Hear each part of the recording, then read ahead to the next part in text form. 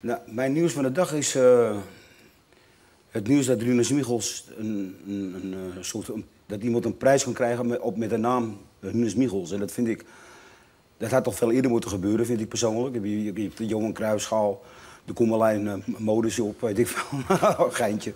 Maar eh, dat, eh, dat vind ik eh, fantastisch voor, uh, voor, uh, Rinus. Rinus de Michels mijn Award. Rinus Michels. Ja, Award. award, ja, Rinus Michels Award. Ja. Voor de beste trainer van het jaar. Ja, Voor- vind ik hartstikke leuk. En wie vind jij dat hem dit jaar moet winnen?